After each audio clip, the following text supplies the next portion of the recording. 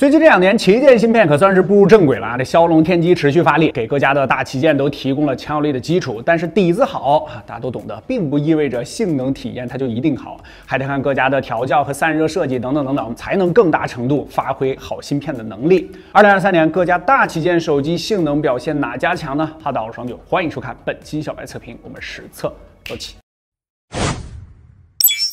提醒注意，本期是基于小白测评数据库最新的四点零模型啊，我们对参测手机都进行了全面复测，都是顶级旗舰嘛。本期我们还引入了一些复杂场景啊，就比如我们模拟了一下夏天的环境下大家打游戏的情况，让大家从更多维度去了解各家的调教实力。精心选取了2023年下半年到农历春节前各家最新的大旗舰，没有华为啊，大家把“理解万岁”四个字可以打在公屏上啊。Mate 60 Pro 的麒麟九千 S 这性能毕竟是有代差的嘛。另外，由于数据库升级到4.0之后，这个数据量确实比较大啊，S24 呢没能赶上这一趟车。等后续我们测完了之后，会第一时间更新到小白测评数据库小程序，你可以随时随地免费对比。vivo X100 Pro 搭载的是天玑九千三，小米 OPPO 荣耀搭载的都是八阵三。关于这两颗处理器的能效曲线，我们数据库小程序都可以查看。啊，之前也都做过单独视频，例行不服先跑个分儿。荣耀这台直接屏蔽了啊，跑不了这个环节就没有它了。娱乐度最高的是 vivo 二百零七万啊，其次是小米二百零六万，OPPO 稍微低一些二百零二万，iPhone 这边一百五十五万。当然 iOS 不能和安卓阵营横向对比啊。CPU 方面的表现，Geekbench 单核 iPhone 是两千九百四十四分，vivo 是两千二百四十七分，小米是几款手机中相对最低的啊，两千一百三十一分。另外多核表现上最高的是 vivo 七千四百九十一分，天玑全大核的表现确实很强。其次 iPhone 七千三百八十分，OPPO 这个环节只有六千六百五十二，相比最高低了八百多分，后面还真有体现。GPU 方面，数据库四点零调整到了 3D Mark 最新的基准跑分，小伙伴查看对比的时候要注意，不同的跑分基准肯定是不能直接进行对比的。在数据库四点零标准里面，跑分最高的是小米五千一百三十五分，iPhone 这边是三千三百一十九。高通和发哥这两年在 GPU 上都挺给力的，啊，从上一代开始就超过了 iPhone，当然只是峰值分数还不够高。二十轮的压力测试啊，稳定性最高的依旧还是苹苹果，百分之六十五点七，其次是 OPPO 百分之五十七点二，小米在数据库标准的二十五摄氏度环境温中是不能测完这个环节的，它直接机身温度过高闪退了。我们不甘心啊，又对这台手机加了一个散热啊，强行完成了测试，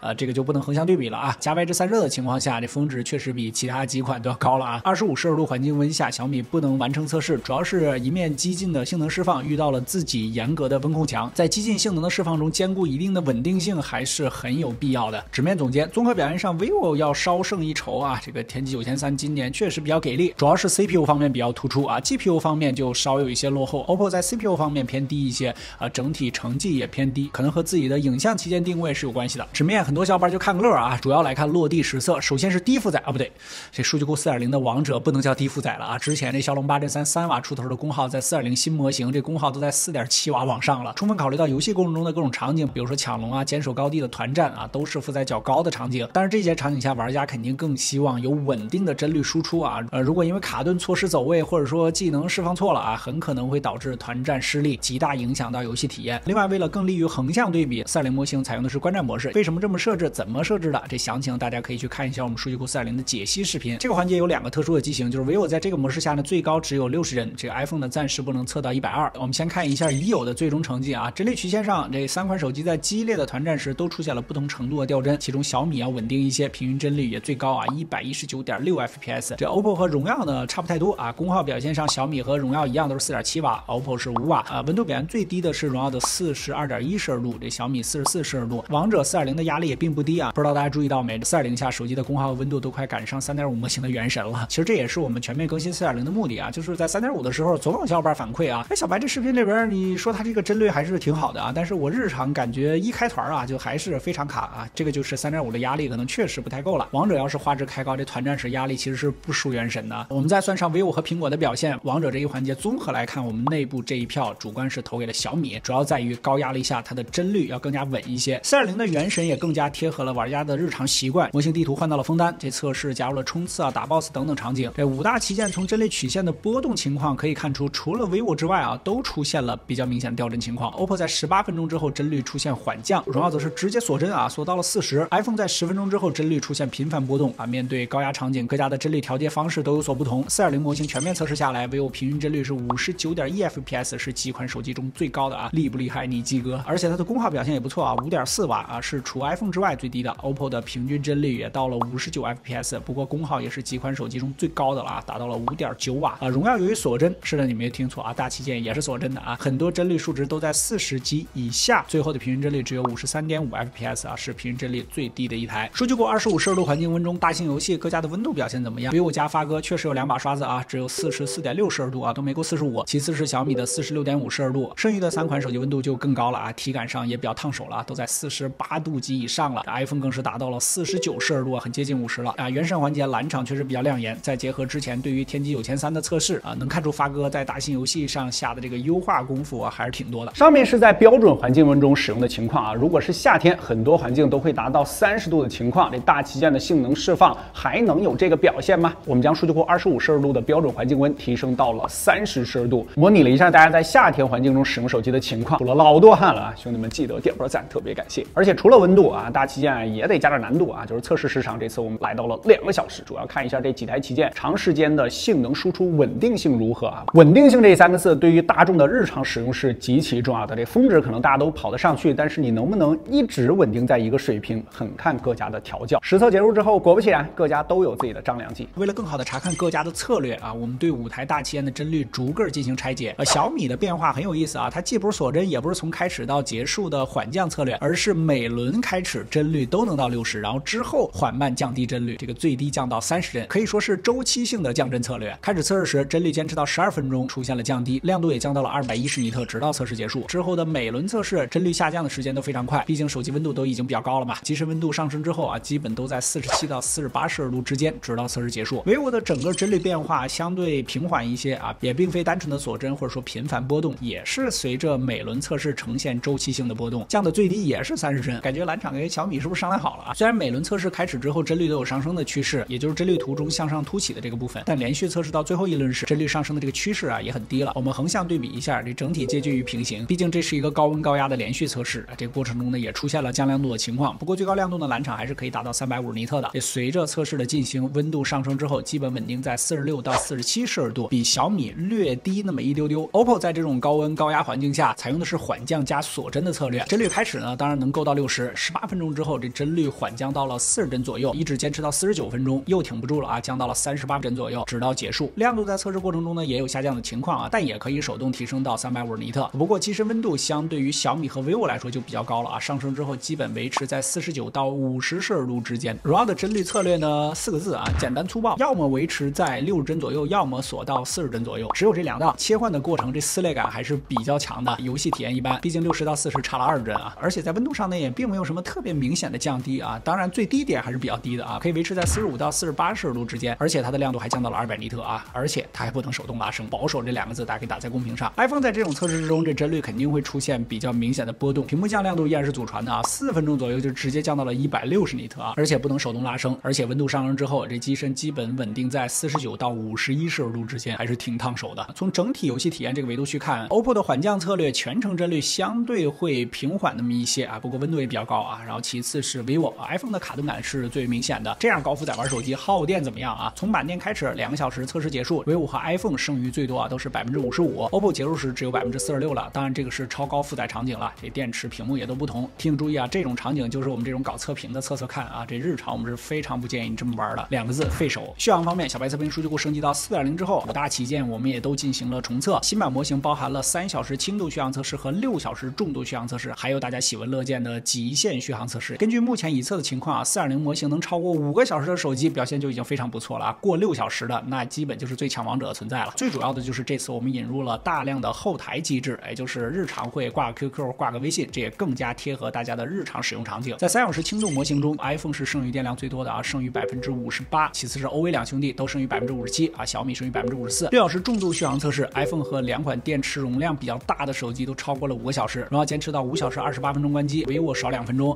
这小米这边是四小时五十五分钟就关机了啊，OPPO 是最少的，四小时五十二分钟也关机了，这俩都没过五个小时。四点零的模型中，六个小时之后就是极限压力测试，直到关机。不过视频中的这几款都没坚持到。横向对比测试其他手机的续航表现，这荣耀和 vivo 表现相来说会突出一些。荣耀前面的保守策略到这儿还是有点用的。从二零二三年开始啊，各家都不卷充电功率了，充满时间进入半小时之后，提升功率带来的边际收益就越来越小了啊。你手机的充电瓦数现在是多少？大家可以打在公屏上。日常充电最多的基本就这两种情况啊，随手充和给手机完全充满电。随手充考验的就是手机的快速回血能力。小米、OPPO 十分钟充入电量都在百分之五十以上，vivo 和荣耀都在百分之四十左右。当然这两款的电池容量也会更大一些。完全充满最快的是 OPPO 三十分钟，其次是小米三十三分钟，荣耀和 vivo 都都在四十多分钟。iPhone 嘛。除了游戏续航场景与手机的性能息息相关，相机也是手机高性能要求的场景。很多新机友可能还不太了解，这个相机其实是非常好性能的，并且影像呢也是这些大旗舰和标准版或者说子品牌的旗舰区别最大的地方。本期呢我们主要看一下各家录像的稳定性以及温度的表现啊，这个是非常好性能的。之前我们的一些相关测试都是直接放到太阳下面啊，像是冬天嘛，这环境比较难复原啊。当时除了小米和 iPhone 之外都出现了锁帧。这期呢因为现在是冬天啊，这个环境不太好复原，我们就把标准降了十度，在二十八摄氏度。环境温度进行测试，条件如下：五台机器默认出厂设置以及编码规格。这关闭了防抖，使用 4K 六十帧，注意是 4K 六十帧啊！连续录制三十分钟的视频啊，被录制也就是镜头里边的那台手机啊，我们设置的是三百五十尼特的屏幕亮度，七十五 dB 的音量，播放航拍中国第一集。直接来看这五台大旗舰的结果，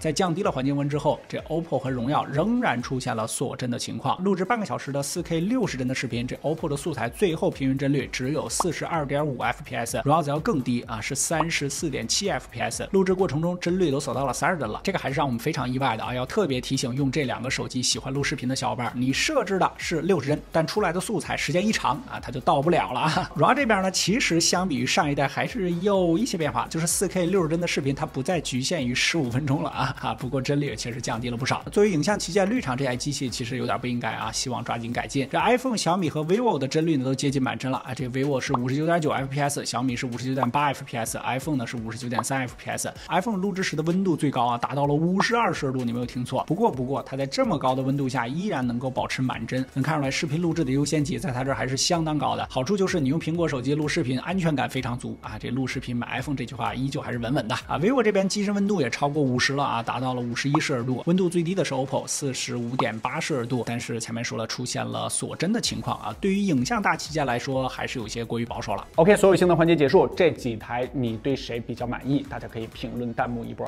我们简单总结一下啊，典型风格的就有三台啊，iPhone 啊，日常丝滑流畅，但是设计质感先行的大框架下，这散热还是老样子啊。这大型游戏的体验呢，确实干不过安卓阵营了。呃，荣耀这代旗舰呢，性能比之前只能说更加激进了一些吧。啊，不过在高温啊、高压的场景下呢，它还是一个偏保守向的啊。当然，在续航环节呢，也是有体现的。小米呢，则是中规中矩啊，因为毕竟这是一个 Pro 的机型，并没有非常的激进。照之前的风格，我们主观上还觉得收敛了一些。综合来看，蓝厂加发哥的组合这次表现突出啊。当然，我们还是要说明，本期有很多环节都是偏极客向的，因为都是大旗舰，我们要看一下各家的硬调教实力到底怎么样啊。如果在这种环境下，大家都有非常好的解决策略，那么在日常环境中呢，相对来说就更加轻松了。而且本期我们也重点看了一下各家的调教稳定性到底怎么样。OK，如果觉得本期视频对大家产生了一点帮助，记得在下方给我们点个赞，特别感谢啊！小白测评数据库已经全面升级了四点零，这个全新模型我们将会贯穿二零二四啊！强烈建议大家去看一下我们四点零的解析视频，看那一个片子你就对我们全年的测试维度有非常详细的了解了